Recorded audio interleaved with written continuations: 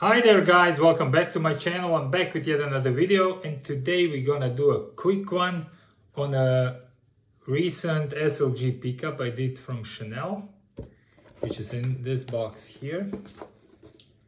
I wanted to get myself a brown card holder to go along with the black one I already have here to kind of mix and match with my brown bags because I have what two three. Around three four actually uh, brown bags and I think this would be a nice match.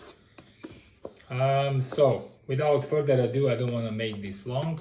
I want to unbox this with you and I want to share it and also compare it to my now oh, around 10 year old CC card holder that I have here to see what are the differences and see a little bit of a comparison these two pieces. Okay, so your Chanel box, obviously. Inside is the ribbon, which I took off already, and a thank you card from a private shopper that I do a lot of pickups from. Inside the card holder came in the duster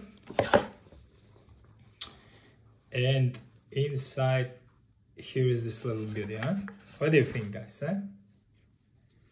I love the nice brown leather. It's almost beige brown. It's not dark brown. And the champagne gold kind of hardware in the CC boy lock style which I don't have yet and in the chevron design.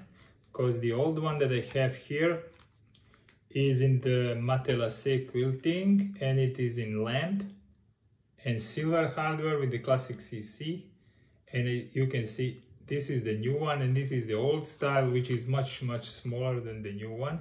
It fits the exactly the same the layout is exactly the same as this one. And let me show you. So what you have in front is one card slot and two card slots in the back and the middle compartment like this here which is exactly the same as on this card holder. So one card slot in the front, two in the back, and one compartment in the middle.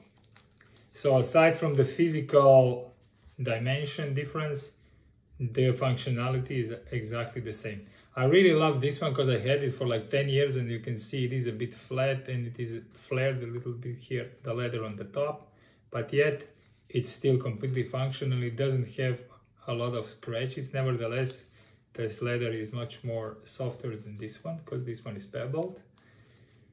So I believe these ones are nice things to have if you're into this kind of stuff like I am. So as I said, I got the brown one because I have a lot of brown bags and I want to pair it a little bit with the brown bags that I have. No, there's nothing wrong to have a black one if you have a brown bag. Nothing wrong with that, absolutely not. But nevertheless, I wanted to add something new into my SLG collection. As I mentioned in my SLG collection, if you would like to see a video around my SLGs, an updated one, because I did one very, very long ago, do let me know down in the comment section. Thank you very much for matching, well, for watching the video, of course, and please subscribe and hit the like button for more. And I wish you a wonderful weekend, guys. Bye.